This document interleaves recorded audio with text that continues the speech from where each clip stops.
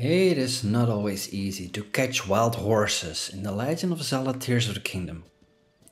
And in this video I'm gonna show you exactly how.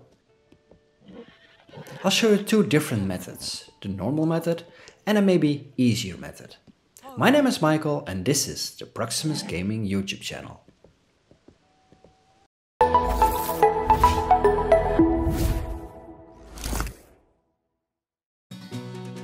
So, you're trying to catch some horses in Zelda Tears of the Kingdom. That means, of course, that you're interested in more content of The Legend of Zelda.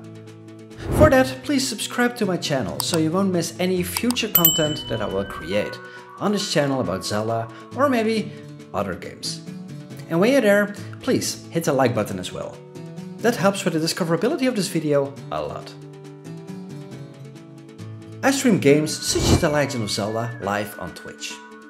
Link is in the description down below, so feel free to check it out and talk about Zelda or any other game.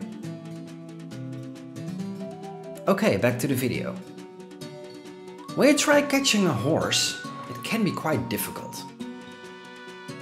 Because when you run up to a horse, it will definitely run away, because it's scared.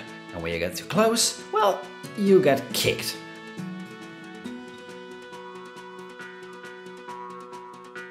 The normal method to catch a horse is just to crouch and to just sneak onto the horse.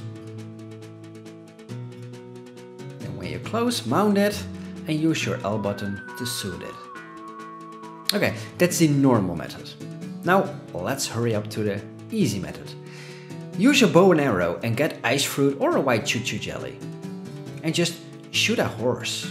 Now it's frozen solid, so it can get close real easy. Now we only have to wait until it says defrost, press A, and you're on top. Use the L button again to soothe it, and we managed to get another horse.